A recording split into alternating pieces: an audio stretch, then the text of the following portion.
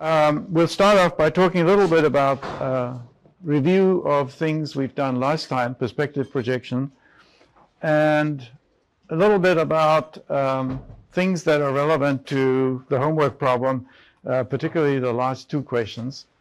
And we'll go from perspective projection to uh, motion. So in perspective projection, we have a relationship between points in the environment and points in the image, and we found that we had this simple relationship uh, between the 3D world and the 2D world. Uh, as long as we pick a suitable coordinate system with the origin at the center of projection and the z-axis along the optical axis and so on. Uh, but then we're going to uh, go from that to motion by uh, differentiating uh, that equation. And then we'll talk about uh, motion of brightness patterns in the image uh, itself. Okay, so we had that. And then we had a vector version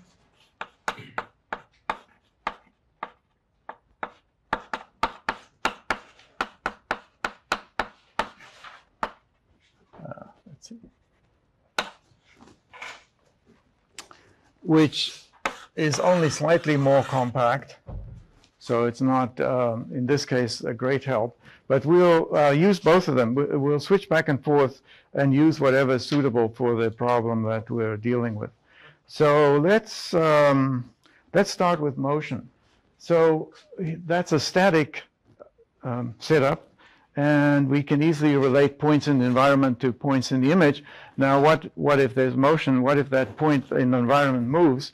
Obviously, there will be some motion in the image, and if we can find out what that relationship is, then maybe in some circumstances we can invert that so that we can measure the motion of brightness patterns in the image as you do in the homework problem and somehow use that to figure out what's happening uh, out in the world. So we just differentiate. Um, we uh, take our uh, perspective uh, equation and we differentiate. So we get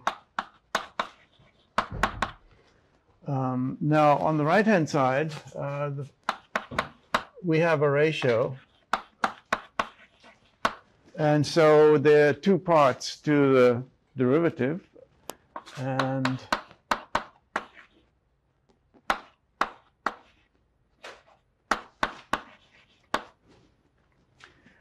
um, we just apply the rule for differentiation of a ratio. And what I'm going to do a lot is reduce the in intimidation level of the equation by substituting more easily digested symbols. So in this case, we've got all these derivatives. Well, what are they? They're really velocities. So there's going to be a velocity in the image in the x direction, which I'll call u. And there's a velocity in the real world uh, in the x direction, which I'll call uh, big U. And then we have um, a velocity in the real world in the z direction, which I'll call uh, W. So that looks a little bit uh, less scary. And of course, I can do the same in the y direction. So apply the same idea over here.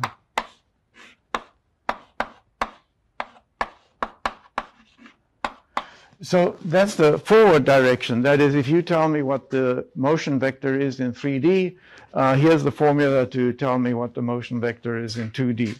And of course, we might want to invert that, but for the moment, let's uh, go with that. Now we can rewrite this in various forms, and since we'll use this a lot, uh, let's do that. So uh, one thing we can do is we can split up uh, these terms into um, 1 over z x over z. And why is that useful? Well, because we know that uh, x over z is little x over f. So we can rewrite this uh, using image coordinates, and we end up with uh,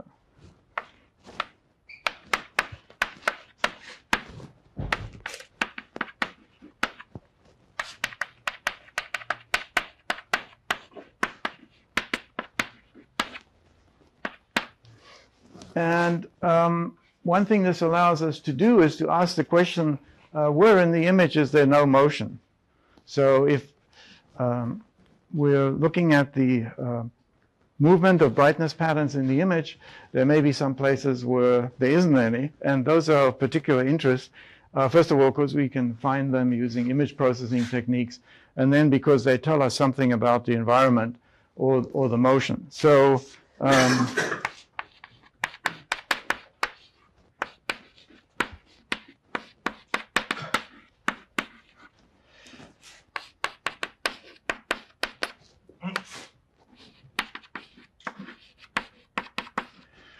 so um, you can see if we set this equal to zero, uh, we find that's true at a point x naught such that x naught over f is uh, big U over big W, and similarly for this one equal to zero. And so the point x naught, y naught is that uh, sought after point where there is no image motion, and we call it the focus of expansion. And in the case of a simple situation like I'm approaching the wall, uh, the focus of expansion is the point towards which I'm heading. And so um, we can just express it directly in terms of the 3D motion vector. And you'll notice that this is actually just a projection of the 3D motion vector into the image plane.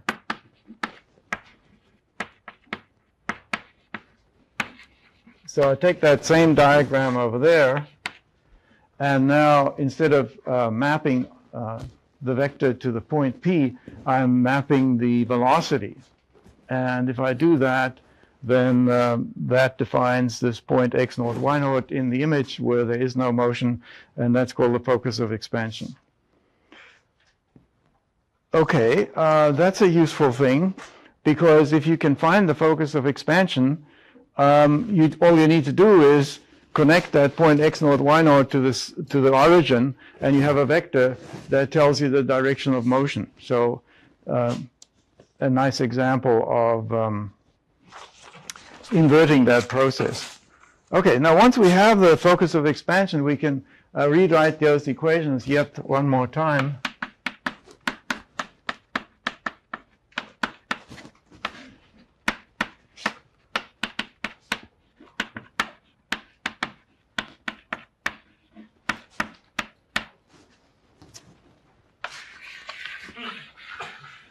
And so there are a couple of things there that are of interest. Um, one of them is that uh, the F's cancel.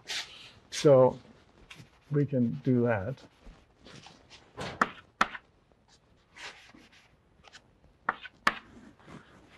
And then we actually can get an idea of what the uh, image is going to look like. Um, so let's suppose this is the image plane. Now we're looking at it straight on.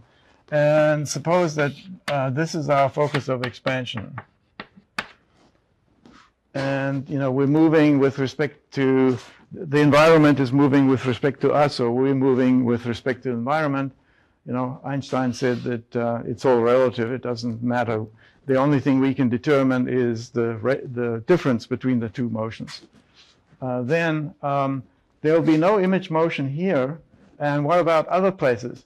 Well, this uh, tells you uh, exactly what the pattern will be like, right? So if we uh, go to the right such that x naught minus x is um, uh, positive while we keep this one zero, what happens is, well, u will become larger. The further we go away, the larger. So we'll have a little vector here um, that tells us the image motion at that point, and another vector over here, which is perhaps larger, and then we can go to where this is negative. So the other side, draw a vector here. Okay. So I'm starting to draw a little vector diagram uh, of the uh, motion field, if you like, how things are expanding from that point. And I can do the same in the y direction. So I suppose I keep x naught equals x, but I change y naught. So I'm going along this line. I'm going to get vectors that point this way. And uh, let me be adventurous and go off at right angles where uh, x naught minus x is the same as y naught minus y. Well, that means that u and v are going to be the same.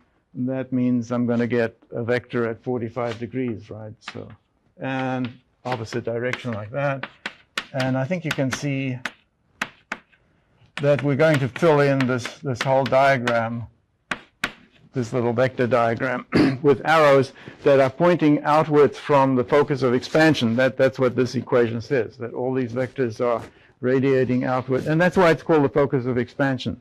So I'm moving towards that wall, and this is the place I'm actually going to hit.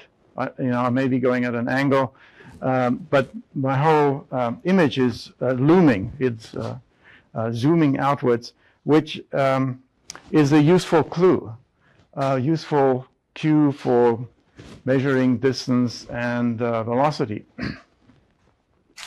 well, um, as you saw in the homework problem, there's this scale factor ambiguity that because of perspective projection, um, we can't actually tell absolute distances. Uh, and we have a similar phenomena here. But what we can tell is, is this ratio. And so this whole uh, field depends uh, critically on that ratio. So, so what is that? W over Z. Um, and if I make that larger, then, you know, the, the vectors will be larger.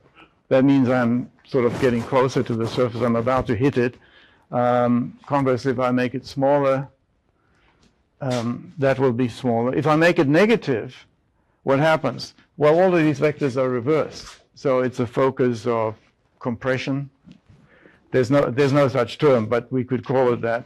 Um, it's just the inverse of the focus of expansion. And that's what happens if I'm moving away from the surface. So I'm, I'm taking off from the lunar surface and the image is sort of compressing uh, as I leave. So, okay, well, um, so what is this? Well, let's turn it on its head uh, what is z over w? And w, of course, is the rate of change of z. So we got z over dz dt.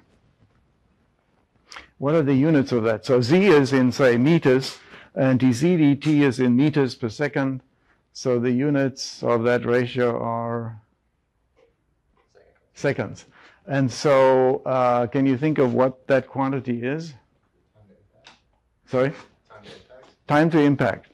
Great. So um, that's going to tell me how long it's going to take before I crash into this surface.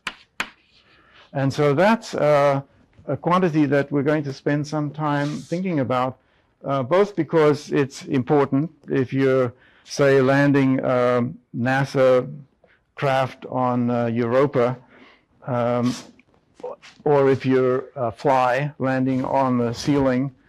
Uh, and also, it turns out to be relatively easy to compute compared to some of the other things that, that we'll be looking at. By the way, the uh, uh, landing on Europa is a JPL uh, RFP. They wanted to have um, industry give them ideas of, you know, how they're going to do that and how much it's going to cost. And uh, well, we told them that this is the right way to do it, and we never heard from them again, so I don't know. So, so if uh, that craft crashes on Europa, don't blame me. I told them what to do. So, okay, so um, this is beginning to uh, look kind of promising because we can actually uh, see our way to inverting this imaging process and getting some useful information uh, just from the way the brightness pattern in the image uh, changes. But uh, I need to um, torture you a little bit more and do this in vector form. And um, we'll see later why this is useful. Right now, it's not saving us a whole lot in terms of writing, going from the scale, the component form to the vector form, but uh, we'll see that it does eventually. Okay. So instead of differentiating the um, component versions, we're going to now differentiate uh, the vector form. And of course, it's uh, very similar.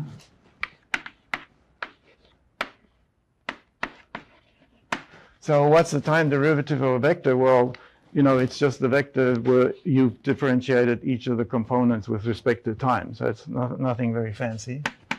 Um,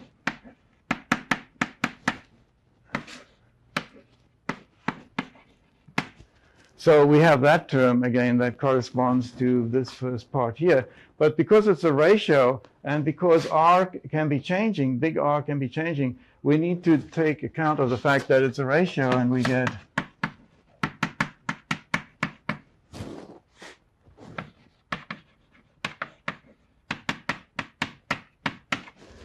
And um, okay, so to make it look slightly less intimidating, we'll switch from uh, Leibniz to Newtonian notation.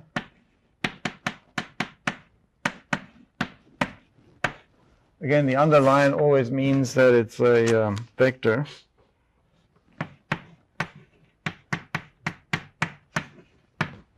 And I'm splitting this up a bit.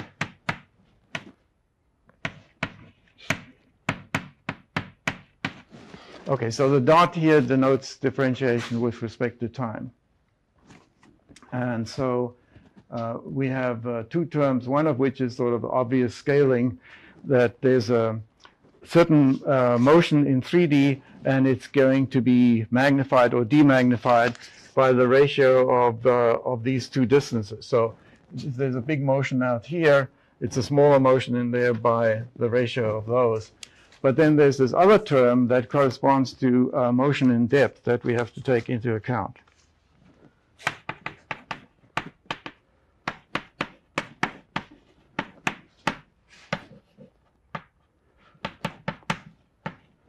And I rewrote it this way because, uh, again, uh, we can make use of the fact that we have this uh, perspective projection equation, and so we can introduce the, uh, the image coordinates.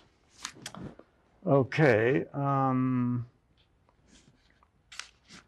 so focus of expansion again would be where r dot is zero. And so that corresponds to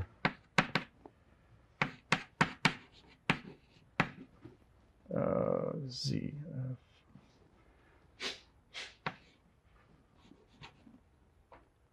One, oh, oh, let me put the one over f on the other side. That's easier.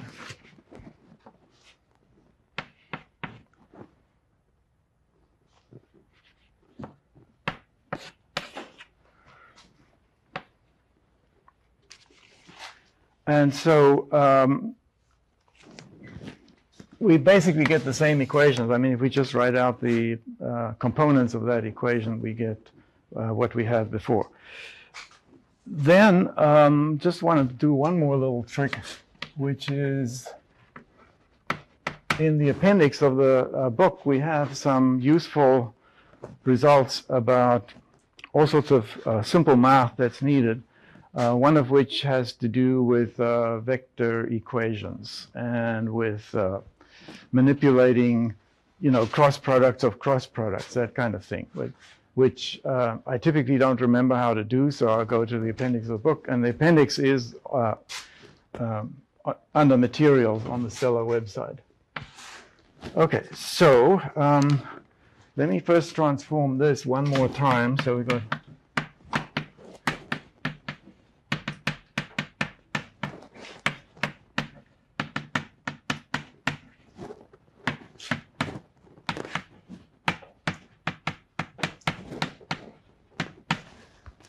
Okay, that's uh, just rewriting this. Um, and now we use um, a result. And the reason we do this is because it allows us to make some general statements about the flow. Okay, so cross product of cross products can be expressed as the difference of dot products. Now you can match up uh, these two lines. And you can see where we're going with this, which is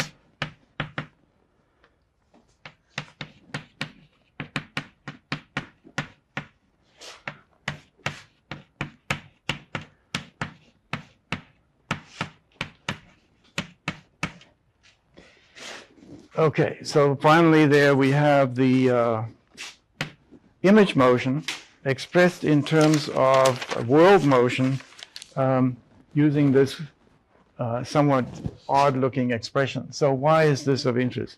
Well, the first thing you can say is that the result is perpendicular to z. right? Because if you take the cross product of two vectors, the result is perpendicular to both of the vectors. Okay, so r dot equals zero, um, uh, r dot z equals zero, excuse me.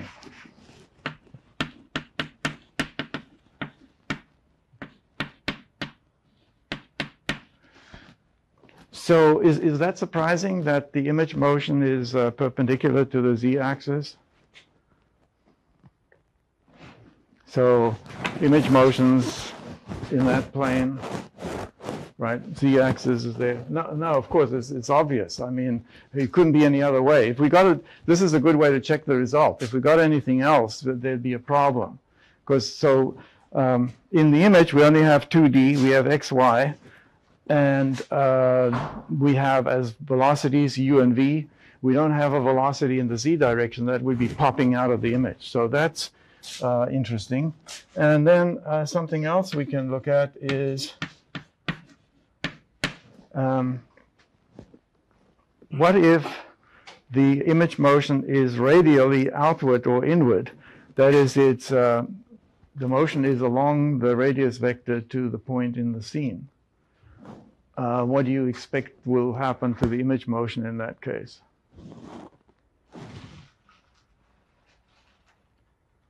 So you have the baseball coming straight for you. Its image is doing what? It's expanding, but it's not moving, right? So uh, this is the case where we would expect uh, image motion to be zero. Uh, and now we check this formula. Okay, if r dot and r are parallel, when we take their cross product, you know, the cross product's length is proportional to the sine of the angle between the two vectors. Well, if they're the same vector, then that angle is zero, and so the sine is zero, and so so this formula, while it you know it uh, took a little bit of work to get there, it, it's helpful for answering certain questions, and we can right away check things like this. Okay, if um, if the thing is coming straight at you or you're moving directly towards it, there'll be no image motion. Well, that's our focus of expansion right? So if I'm moving towards the wall, um, that is the point where um, the motion vector lines up with the direction to that point, and so I get no image motion. Okay, um, while we're here, uh, we can look at some flow fields.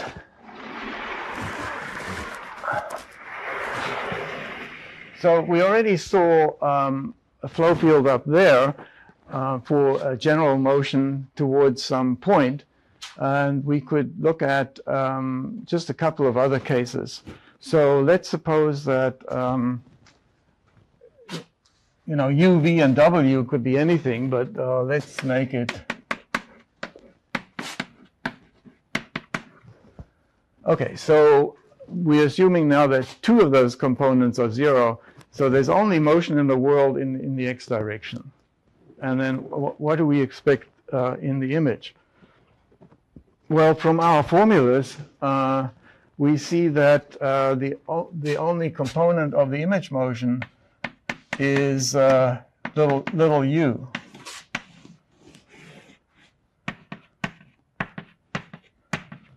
So if the world is moving in x, or I'm moving in x relative to the world, then um, the vector field of how brightness patterns move in the image uh, looks like this. Um, one thing that, to note, though, is that the length of those vectors uh, is not the same. That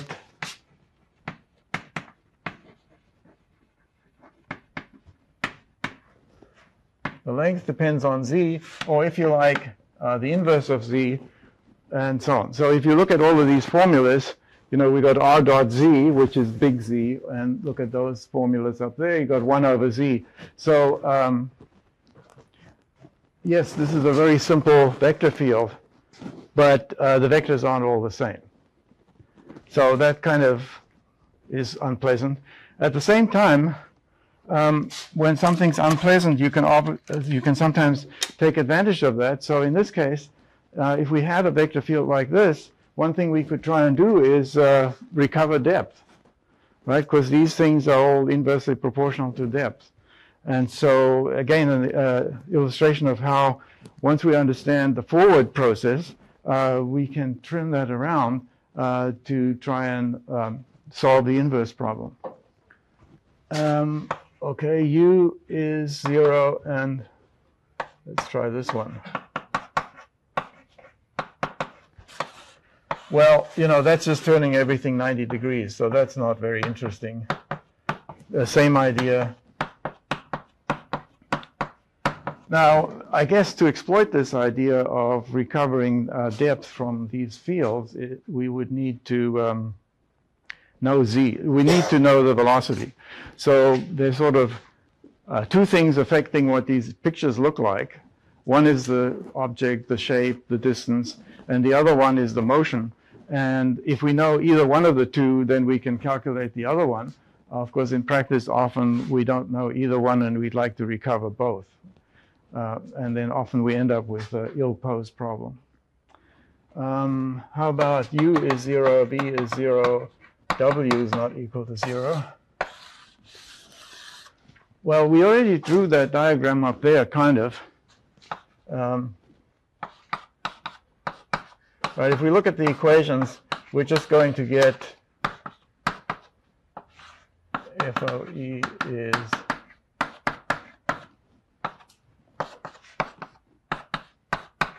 So that's the simplest uh, case of, of that picture where the focus of expansion is right in the center uh, of the image.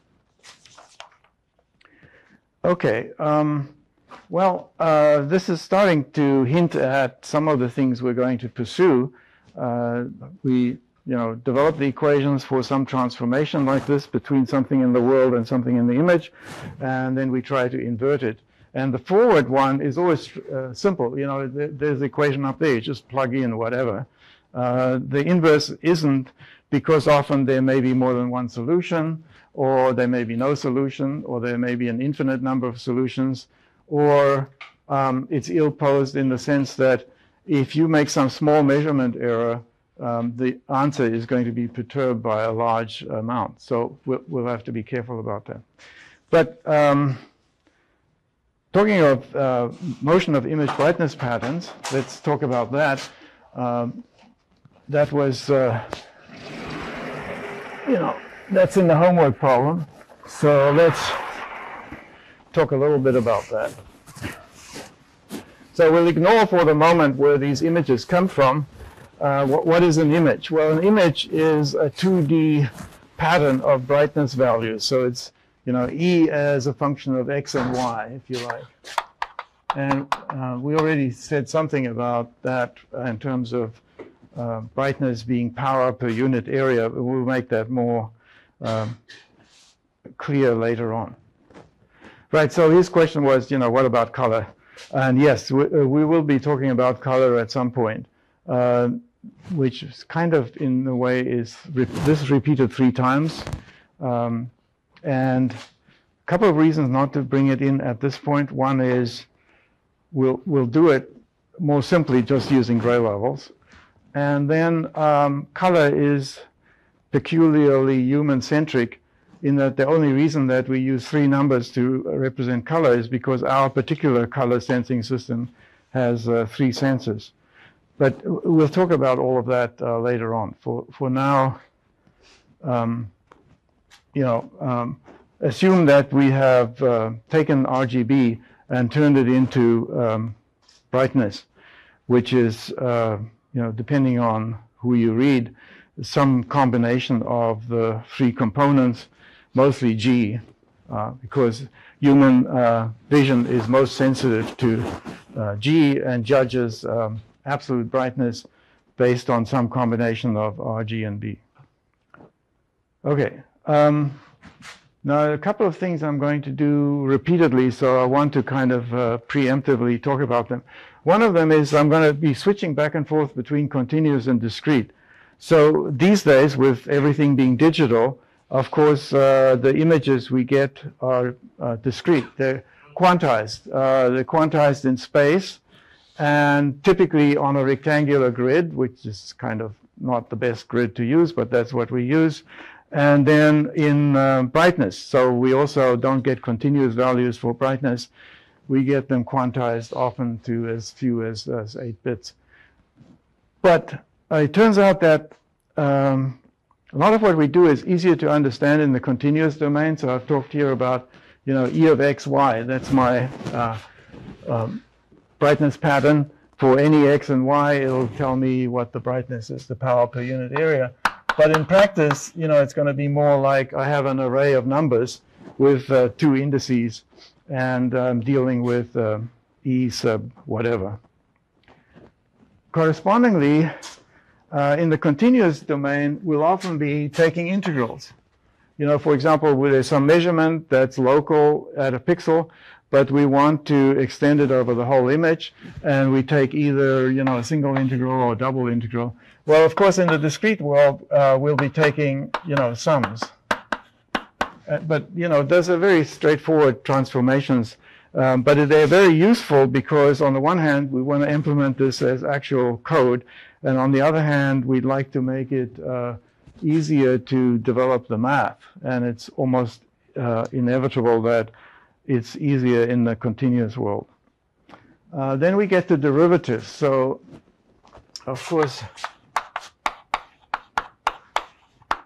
in the continuous world, I can look at the x and y derivative of brightness, and the combination of these two is called the brightness gradient, which is going to be very important in uh, many of the things uh, we do. And in uh, practice, I'm going to approximate those by um, you know, making some sort of uh, difference, first difference.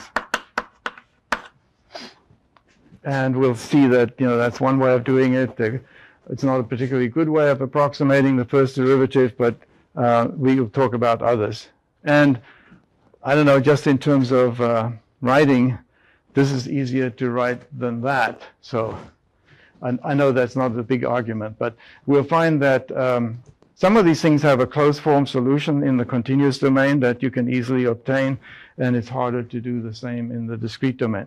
So I'll be switching back and forth. Okay, with that in mind, uh, let's look at our 1D uh, image.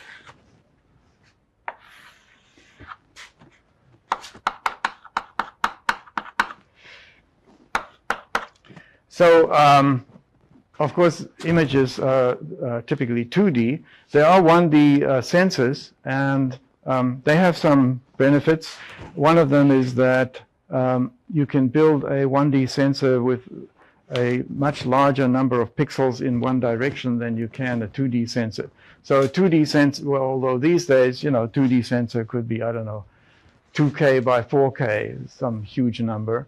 Uh, but linear sensors have been around with many thousands of pixels.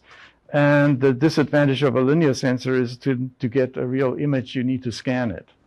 Um, and this is done quite a lot in industry where things are moving along on a conveyor belt and you can use a, a relatively cheap, very high resolution uh, linear array sensor and the uh, conveyor belt motion uh, provides the other dimension uh, of the image.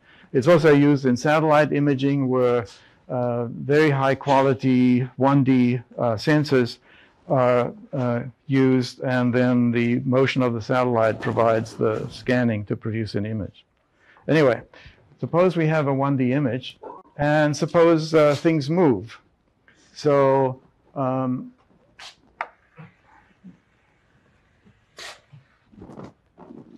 so this is at time uh, t and this is at time t plus delta t.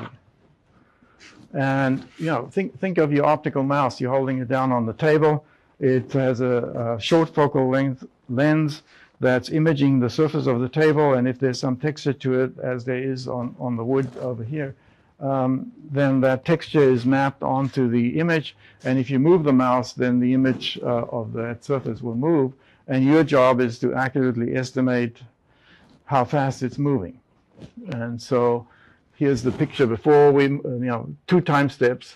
Uh, and, uh, and so we're trying to figure out, you know, how do I determine what happens? So let's suppose we have a, a velocity of uh, u. And so um, we've moved by that amount. So let me indicate that over here. So that's uh, delta x. Now we're making some assumptions here that we'll get back to in a second. One of them is that the brightness doesn't change. And so, you know, if your optical mouse is looking at the surface of the table, um, then um, presumably between one frame and the next, the illumination isn't changing. It's using an LED with a constant current, and it's taking 2,000 frames a second. Uh, so it's unlikely to change. The geometry is changing a little bit because you've moved and now you're looking at the surface from a slightly different angle. But for most surfaces, the change in brightness due to that is very small. So right here, the way I've drawn these curves, I've assumed uh, constant brightness. So let's get it right out front. Uh, constant brightness assumption. And we'll see that there are circumstances where that doesn't apply, but there are lots of cases where that is the case. For example, as I'm walking around the room, you know, your shirt still looks maroonish red and it doesn't really change. Uh, and so we are used to most of the world being somewhat constant in color, constant in brightness as well. Uh, even though we know that there's circumstances where that's not the case. For example, if I look at the reflection of the lights up there in my cell phone, um, they of course uh, move relative to the cell phone as I move around. So, and we'll we'll talk uh, some more about that. Okay, so uh, let's sort of enlarge a little piece of that.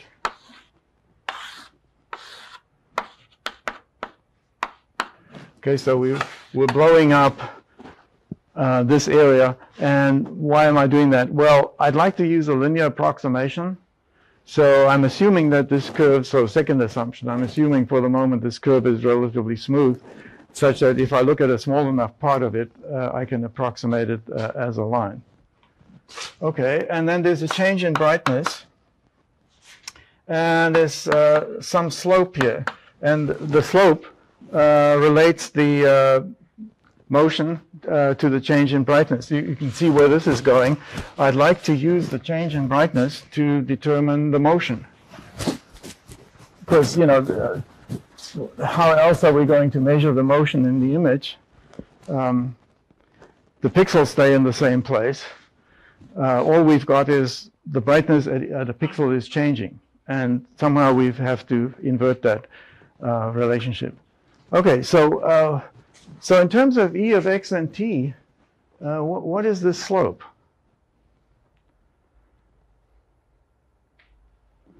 Right, so this is in the x direction, and that's the rate of change of e with x, and so it's dE dx, okay, slope.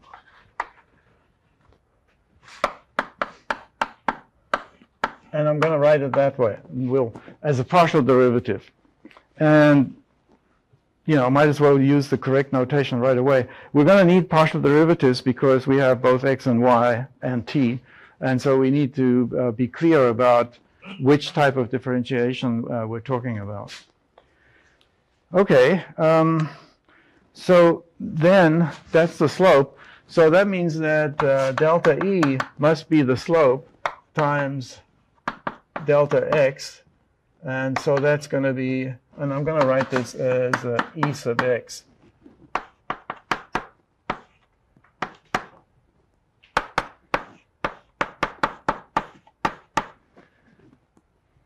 Um, so again, in order to simplify notation, I will often uh, use subscripts to denote partial derivatives. And, you know, e sub x and e sub y we use so much that it would be a pain to have to write them out in full every time. As we indicated, those are the components of the brightness gradient, which is used for all sorts of things, including uh, edge detection. Okay, so now let me divide through by uh, delta t.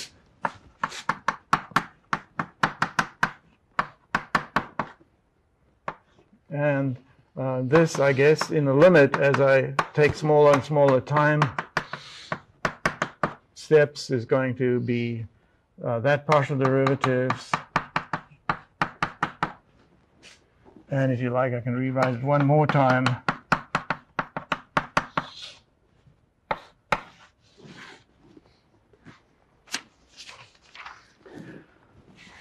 Okay, so um, you can see here why, you know, using the switch to the continuous domain is helpful because uh, I can take the limit here as delta t becomes uh, approaches zero and get the partial derivative.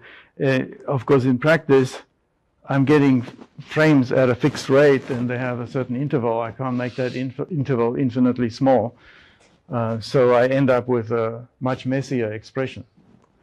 But the two are obviously related. Okay, so that's the result for a 1D image. And uh, that allows us to recover the motion.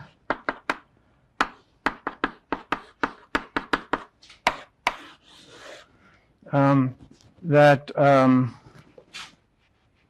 so oh one thing I probably glossed over is that as we go from uh, t to t plus delta t, uh, the brightness decreases. So this delta E over here is actually, in for a positive slope, the delta E will be negative. So that may have gotten lost in here somewhere. Okay, so um, remarkably, from a single pixel, I can get the velocity in this uh, 1D case. Now, importantly, that's not true in the 2D case, and after all, that's the case we want to solve. So we're going to uh, have to work a little bit harder. And now, a couple of things you'll see. First of all, the faster things are moving, the larger uh, ET will be. Well, that's no surprise. If, if the brightness is changing uh, slowly, uh, then you speed things up, then the brightness will change more rapidly. It's like, you know, taking your YouTube video and changing the playback rate. The, um, when the, you change the playback rate, you change all the velocities by the same factor, and, and then you have more rapid changes of brightness. You know, intuitively obvious. Another thing you'll notice is that there's a problem if Ex is zero right? We can't do this if uh, Ex is zero. So if we're, for example, at, uh, suppose we're up here, well, then if the thing moves, the brightness cha doesn't change or changes only a tiny bit. And so from that, you can't really tell how far it moved. You pretty much have the same result if it moved that much or whatever. So, uh, and you know, just in terms of uh, implementation, you're dividing by zero. So that's uh, not going to be good. And it's not just zero, it, it's when it's very small. Why, why, is that? Well, because when it's very small, it probably means that you don't know it accurately as a result of the fact that you obtain it by subtracting two pixel values.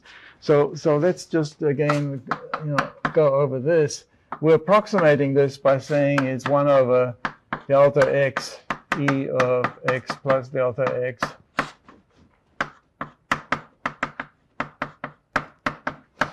Right, well, you know, that's fancy notation, but basically there are two pixels. We take this value and we subtract that value. So we read out the gray level there, read out the gray value there, subtract them. And um, uh, that's how we estimate our um, brightness derivatives. And similarly, so what do we do with ET? Well, ET is derived the same way, except that uh, we have two frames and we pick the same pixel out of the two frames and we subtract their gray values. Right, so it's just in a different direction that we're approximating the derivative. And uh, why is that important? Well, if there um, uh, is a small brightness gradient, Ex is small, then those two values will be very similar. And since they are not known precisely, they have uh, error, in, measurement error in them, we're now subtracting two quantities that are similar in size. So we get a smaller quantity, and it has it's mostly noise at some point, right? So uh, that tells us that this is something uh, to avoid.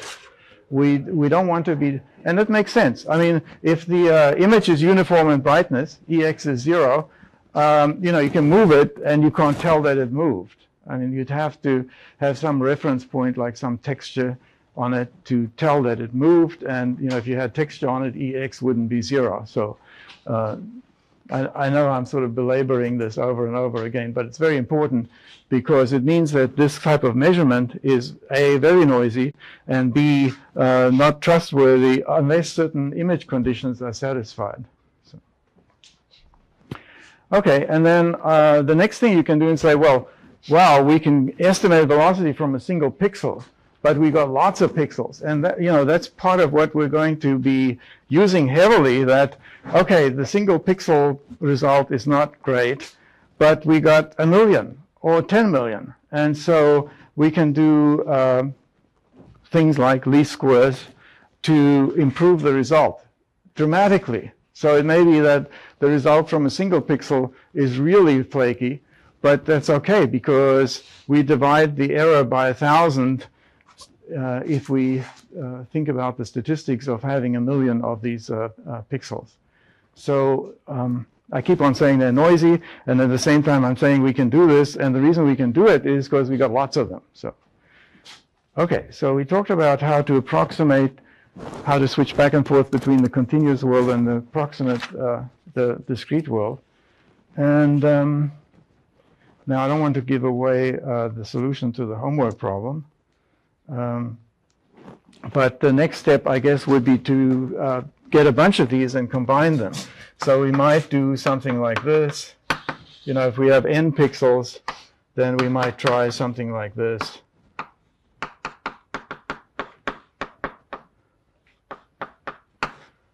Right? So now instead of just using uh, two pixels, we use those two pixels to do the calculation then we use these two pixels to the calculation. Then we use those two pixels to the calculation and so on. And so we add them up. So we have a lot of noisy measurements and we take the average and magically uh, things improve. And so just without going into, you know, hairy statistics or assumptions about probability distributions, roughly speaking, when you average uh, n values, you, you reduce the standard deviation by the uh, square root of n. Um, and you know, when you have these political surveys and they say they have a, a 5% margin of error, what they mean is that they uh, they talk to 400 people, right? Because one of uh, square root of 400 is 20, one over 20 is uh, 0.05. So, say, same principle. So um, it doesn't improve linearly with n, unfortunately. That would be even better. But it does improve with the square root of n. So if we have a million pixel image, it improves by a factor of a thousand, which is, you know, pretty significant. Okay. Uh, now, if we just did this in this simple way, we'd still run into trouble. Uh, first of all, you know, if ex is really zero, you'd be dividing by zero, so you can't do that. I guess you could leave those pixels out. Uh, and then if ex is small, you still have an answer which is uh, relatively bad. So there, there are places where the slope is large, where you get good information, and now you're polluting it by adding in as an equal, you know, information from places where the slope is low. And, and, and that's why in the homework problem, we talk about weighting. So don't just take an average and treat each of them equally, but, um, you know, multiply by some weight factor. And um, then of course you, what happens to the 1 over n? Well, you have to compensate for the fact that you've now switched to uh, using uh, weights. Okay, um, uh, as we mentioned, uh, images are really 2D. So let's extend this analysis to 2D uh, and see what happens. Now, some of this may, you know, seem tedious and repetitive to some of you, but we're all on different wavelengths. So I'm going to get the next result in several different ways. And, you know, different approaches may appeal to uh, different people. So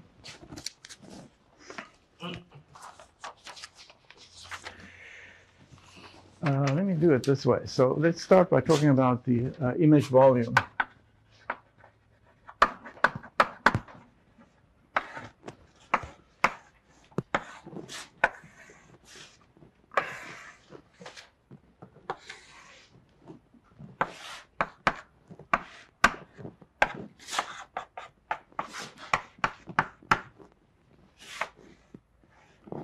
So think about, you know, video And we're stitching together the frames.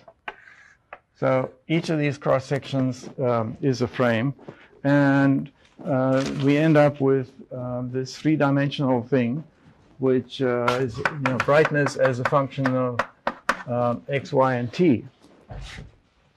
And typically in practice, we slice it across this way, but we could slice this volume any way you like. And in some cases, uh, there are advantages to uh, slicing it in, in different ways.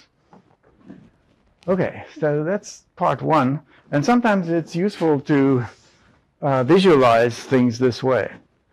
Uh, then we're going to be using uh, partial derivatives. So what are they? Well, it's just the derivatives in the axis direction here. So we'll be dealing with, uh, you know, the edx, the edy, and the edt. And just as we've been discussing, we approximate them by taking uh, differences, first differences of neighboring pixels in either the x, the y, or the t direction from frame to frame. So, you know, that, that's uh, all that is. Okay, so what's, you know, uh, some people find partial derivatives a little bit more scary than uh, ordinary derivatives, but that's all it is. We're just taking the derivatives in those three directions whereas uh, we could be doing something more complicated. So let's think about that. So suppose that, um, you know, this video is from me moving through an environment, and there's some object in the environment that um, I'm tracking. And at time t0, you know, it's there in the image, and then in the next frame, it's over here, and so on. So it follows some sort of path in this uh, three-dimensional uh, volume. And, uh, you know, I could do this for other uh, points and develop this whole uh, set of curves, but let me, let's just focus on one. Now, one of the things I might want to do is um, see how this changes. So when I'm looking at uh, different frames of an image, often what I want to do is not take the derivative at a pixel and see how it changes to the next time frame. But I want to follow an object and see how, how it changes. And, and in many cases, I'm going to make the constant brightness assumption that it, it's not changing in brightness. And so I would like to express some constraint on the derivative along this curve. And so I could have a curve. How do I define that? Well, one way is to give x and y as a function of t. So this green curve, uh, for each time t, I can give an x and a y. That, that's how I define that curve. And um, then what I'd like to do is look at, for example, um, the total derivative uh, along that curve. Right? Keeping in mind that along that curve, not only is t changing, but x and y are changing in some uh, defined way. So, so this is the total derivative. And in what we're going to be doing, we'll set that to zero because we're assuming that this point maintains its brightness. And then I can use uh, the chain rule to split this up. So I'm going to get uh, dx dt times d e dx plus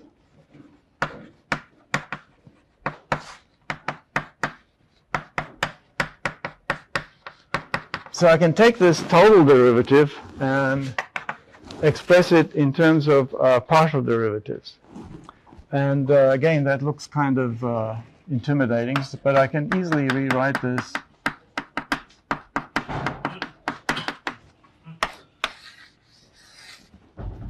So that's equivalent to what we had for 1D motion. Right, so this is showing um, a relationship between the brightness gradient and, and the image motion.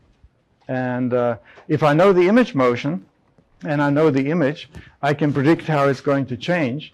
And, you know, very simple. I just use this formula.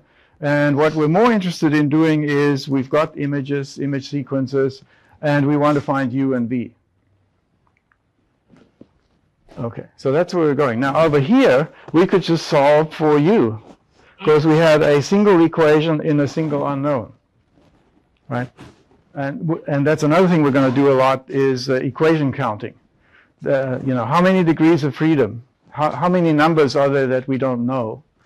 Uh, and how many constraints do we have? Over here, you know, uh, we have one constraint, one uh, that equation. We have one unknown, u, a perfect match. So uh, we know that uh, we are likely to get a finite number of solutions, and it, because it's linear, we get one solution.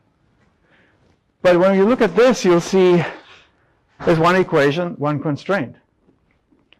But we got two unknowns, right? We've got uh, u and v. So if we're trying to recover the uh, optical flow, which is that vector field that we're tr- dis- discussing, um, it's like we don't have enough uh, information here to do that, uh, which is dramatically different from the 1D case where you know we, we had a match between the number of equations and the number of unknowns. Okay, so uh, what what do we know? So are, are we lost at sea? Is is it hopeless? And so.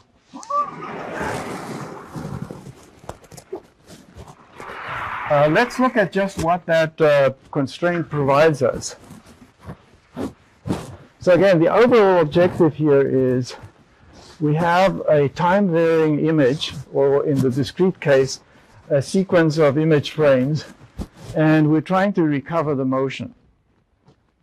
And uh, we find that um, assuming that things don't change in brightness, the images don't change as they move, uh, we end up with that constraint equation. And what does it tell us? Well, one way to think about it is to plot it in velocity space. So, you know, we're used to plotting images uh, with x and y as coordinate uh, axes, but actually, um, for some purposes, uh, it's useful to have a different kind of representation. And this is one. And what it means is that any point in here is a particular velocity, that velocity. And, you know, for example, this is zero velocity. It's not going anywhere. Um, velocity space um, was used at one time in physics much more than it is now. And it's actually uh, kind of neat. For example, you know, if you look at uh, planetary orbits, they're ellipses with the sun at one focus. Um, and ellipses are sort of complicated. If you plot them in velocity space, they're circles, which was exploited uh, in the early days before people could just, you know, feed equations into a computer and have them solved, where they had to reason about things uh, geometrically. Anyway, velocity space is sort of neat, and here uh, we have a constraint in velocity space. So this is saying that, okay, before we opened our eyes and looked at the image, we didn't know anything. Uh, the velocity could be anywhere in this plane. But now we have one constraint on it. So what does that tell us? That must somehow um, limit the solution space. And uh, yes, it's a linear equation in u and v. And so a linear equation in a 2D world corresponds to what? Line, yes. Y equals mx plus c, for example. So it's going to be a line. Uh, and that's great because it means that, okay, we haven't solved the problem, but we've come a long way. So before, uh, it could be anywhere. Now it's going to be on a line. What we really like is to pin it down to a point. So we've, we've come part way. Uh, and so what line is it? Well, we can rewrite that equation uh, like that and rewrite it a bit more by normalizing this vector. So I'm turning this vector into a unit vector.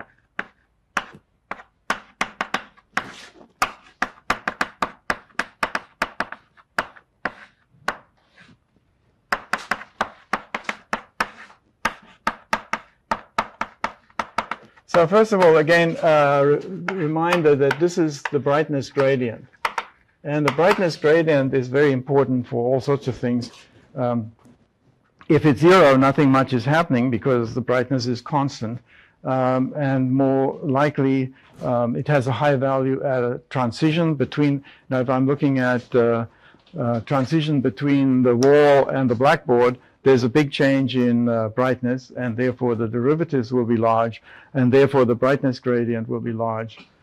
And not only that, but the brightness gradient as a vector will be pointing perpendicular to that transition, right? Because Ex is very large here, Ey is zero. So, so, so this brightness gradient is very important. And this is a unit vector, as you can easily tell by taking the sum of squares of the two components. And why am I doing this? Well, because I'm interested in the component of u and v in this direction, the direction specified by the unit vector and it's this constant. And so uh, what this is saying is that um, you know u and v are perpendicular to some line, and um,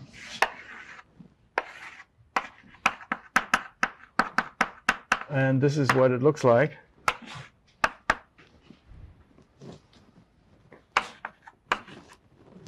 Uh, you can check that. I mean, basically, um, you need to find this point and then calculate the distance from the origin, and it's going to going to be that. So, uh, not too interested right now in the details of that, other than that we've shown that it's a line, and that the line depends uh, on the um, brightness gradient. So, it tells us a lot of things already. One of them is that when you make this localized measurement and you are under constraint, you don't have enough uh, equations, you do know something. Uh, you know, for example, in this diagram, I don't know what u and v is, but suppose that I uh, give you a different coordinate system.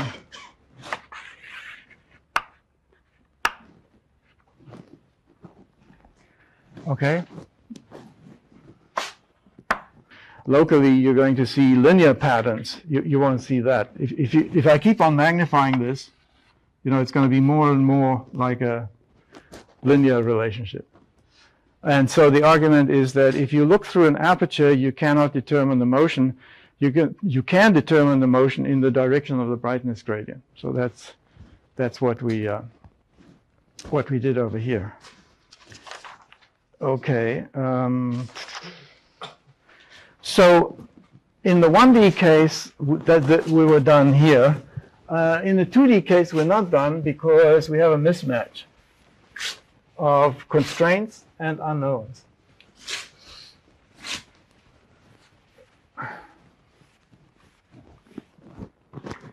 And so um, we need more constraints.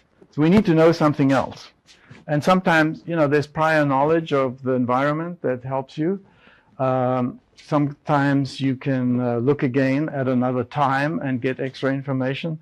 Um, now let's suppose that we have the optical mouse problem where the whole image is moving as one. You know, you, you're over a flat surface at a constant distance from the lens and uh, to a very high degree of approximation, the image is just moving as one. So we don't just have one pixel. We, we can do the same thing at uh, two pixels.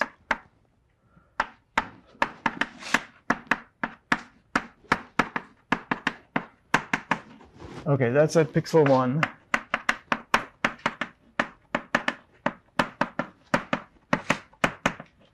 And that's at pixel two. And our job is to uh, recover u and v. Well, uh, it's a, two linear equations.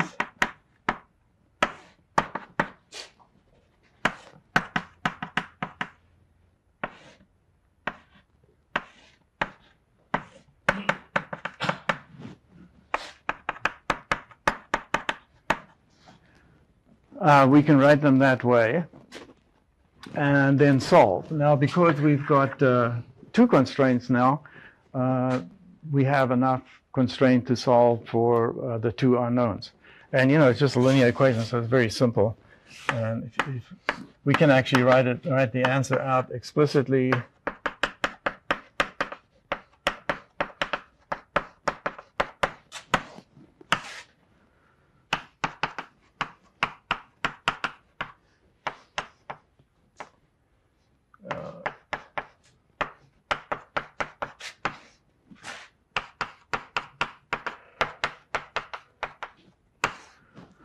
so it's very mechanical. I mean, we just um, um, invert this two by two matrix and you know multiply the result by uh, that vector and, and, we're done. And uh, well, what is this? Well, this is the determinant of that matrix. So, you know, for two by two and three by three, uh, we can explicitly write it down. Otherwise, we'll just use Gaussian elimination to solve the set of linear equations. Okay, so uh, in a way we're done. We, we need two pixels. We can solve this. And now, you know, it's noisy, so we can improve the result by taking more than two pixels. Um, but before we do that, uh, it's always important to check the edge conditions. Like, you know, this can fail. Uh, and it fails when the determinant is zero, right? So we, um, when does that happen? Well, uh,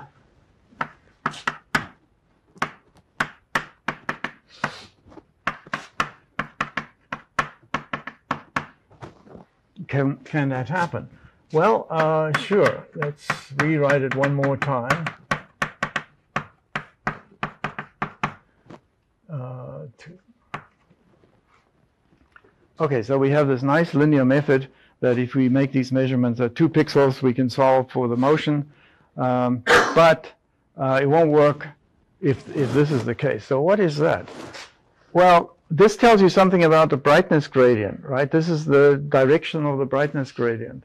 Well, the tangent of it, right? So uh, what this is saying is that you have a problem if they're uh, related. So this is where the they don't have to be the same. I mean, obviously, if uh, the brightness gradients are the same, and you subtract those two quantities, you get zero, and things blow up. But uh, they don't have to be the same. They just need to be proportional to each other. Right? The, the, we're just saying that the ratio of EY to EX is the same. And that makes sense again because um, that means that the brightness gradient is the same in the two places. That means that the constraint we get out of the equation is in the same direction. It's not providing new information. Or go back to this diagram, we now have uh, two parallel lines. Well, if there's no measurement noise, they'll be on top of each other. Uh, and then you intersect them, and what do you get? Well, the same line. So that's not very interesting. Uh, or if you have noise, it'll be even worse because they won't even intersect. So, so um, this tells you a number of things. One of them is, okay, uh, this isn't going to work if the brightness gradient is the same everywhere. And that makes perfect sense. That's the aperture problem. Uh, it also tells you that um, maybe you need to uh, somehow weight contributions from different image regions uh, based on this. Maybe you don't want to, uh, you know, uh, have contributions from a lot of image regions with the same brightness gradient because they're not really uh, providing good constraint. They're all sort of doing the same thing. So that tells you that rather than take this result for two pixels and then apply it to other pairs of pixels and just take the average, you'll want to uh, uh, weight it in some way. So. Okay. Um, and, you know, th that's kind of kludgy. I mean, that's sort of uh, trying to fix a problem in a simple way. But we can do uh, we can do this much better. So um, we have this equation that's supposedly true everywhere in the image. Right, this is our magic equation, which relates uh, image motion to brightness gradients. And um, that's supposed to be zero. Now, if there's, a me there's measurement noise, it won't be zero. Hopefully it'll be small. If you plug in the wrong values of u and v, it won't be zero. So maybe one way of solving this problem is to uh, search for u and v that uh, makes that zero, or if you can't make it zero, make it as small as possible. And so that motivates uh, this approach.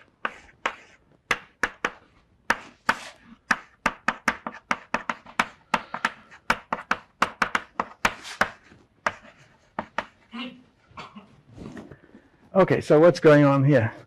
Well, the integrand is just this expression. And if everything was perfect and you had the correct values of u and v, the integrand would be zero and you integrate it over the whole image, you get zero. And that's the smallest you can get because it's quadratic. It can't get less than zero. So that's it. Um, if you plug in the wrong values of u and v, well, uh, it will not be zero. And so you can uh, base a strategy for finding u and v on, on that. Um, now, uh, there are cases where this is going to fail. You know, one is if, uh, I don't know, you're uh, without a light in a uh, coal mine. Uh, if E is zero, you know, all hope is lost, obviously. Uh, if EX and EY are zero, all hope is lost because that means you're looking at a wall that's, you know, constant brightness and you won't be able to see it moving because there's nothing on it to catch your attention and to track.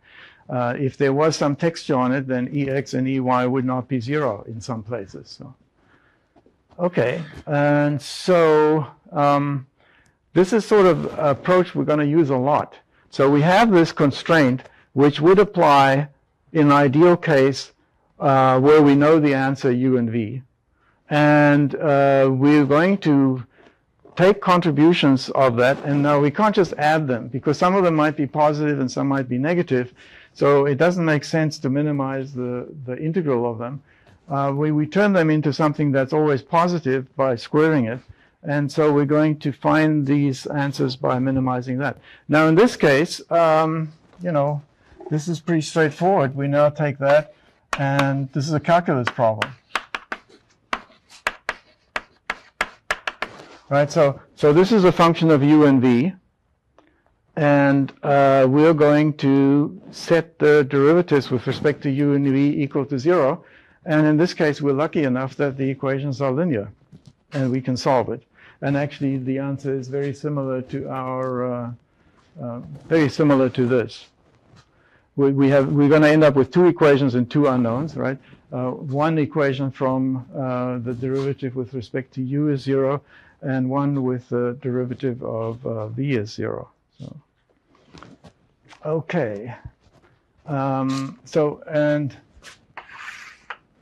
the, so two equations, two unknowns, uh, cool, but that can fail, right? Because they might not actually be different equations. They might be linearly dependent. So we'd want to uh, worry about that. And in this case, the failure mode is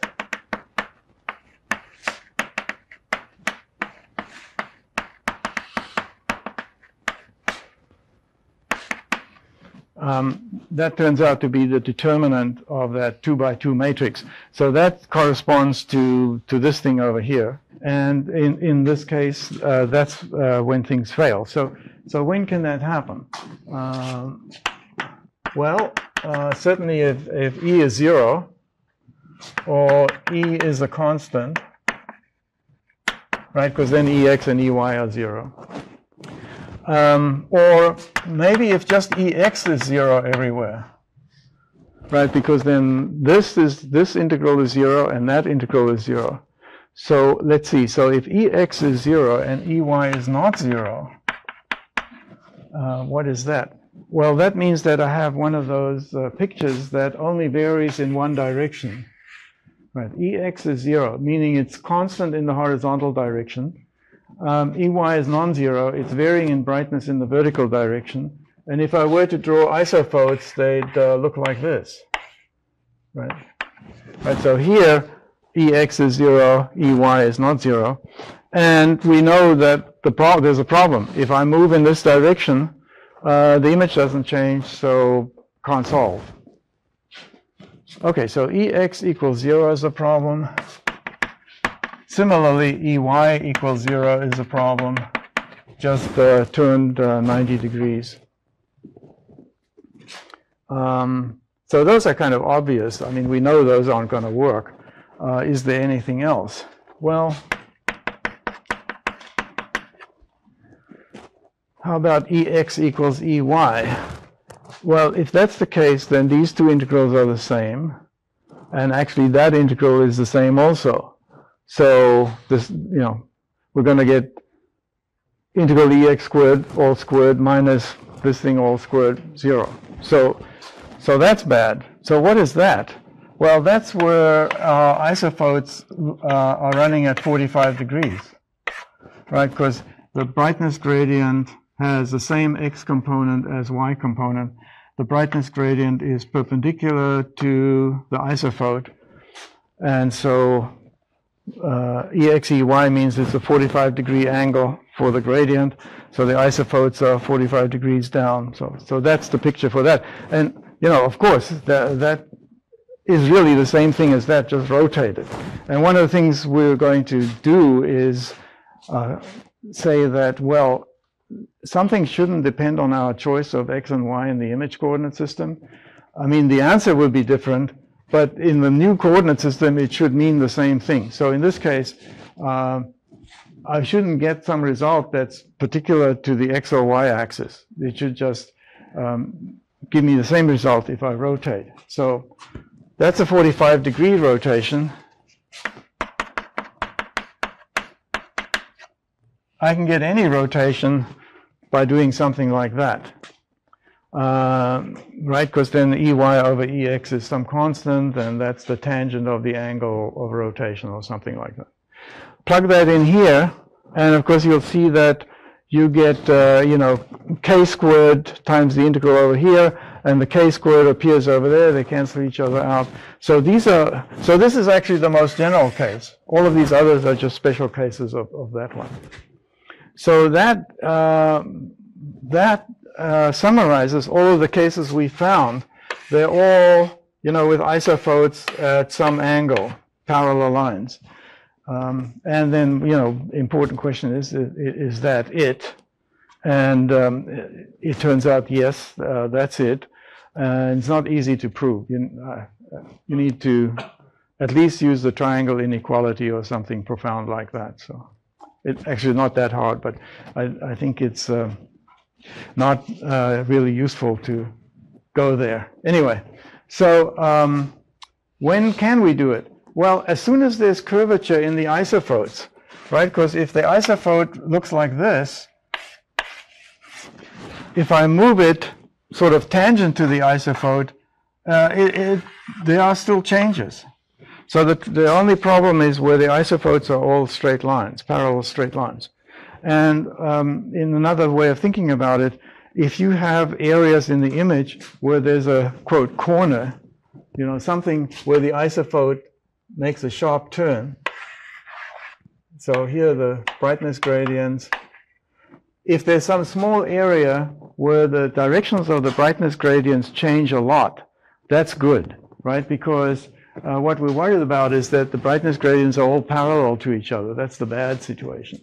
And so uh, for many purposes like image alignment and uh, recognition, we look for places that are, quote, interesting.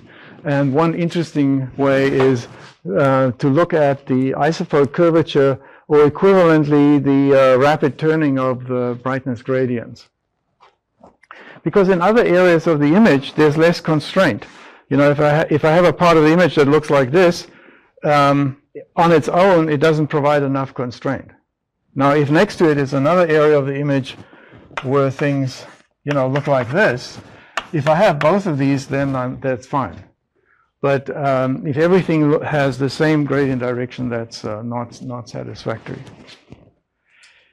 Okay. Um, hmm. Uh, okay, so uh, homework problem um, theoretically due and uh, on Thursday, and um, it, you know, I know we haven't done a whole lot on this, so if you have problems with it, send me email, and I'm, i may say something that doesn't give away the answer but uh, helps you, and uh, we'll we'll go from there. What what we're going to do next is. Um, talk a little bit about this concept of uh, noise gain. So the idea is that um, all this time we, in the back we've been thinking about, oh, we only have pixels with 8 bits and they're noisy and our calculations are going to be flaky unless this determinant is large and so on. So there's a lot of attention to not just, you know, a formula for computing the answer, but making sure that the answer is actually meaningful as opposed to, you know, you've taken two noisy numbers and divided them by each other and the result is not uh, very uh, predictable. So uh, in noise gain, that's a very precise way of talking about it, which is saying, if I make this much of a change in the image, uh, what is the change in the result? So in this case, uh, I'm trying to get the velocity of motion. How much is the velocity of motion going to change if I change the brightness gradient somewhere? I have the wrong measurement. It's slightly off. And of course, we want that to be not sensitive. We don't want it to be very sensitive to noise. And so we'll um, make that clear uh, in, uh, in uh, terms of a one-dimensional transformation where we know the forward function and we're trying to invert it and we want to know when that inversion is uh, sensible and when it's not. Okay. Oh, questions?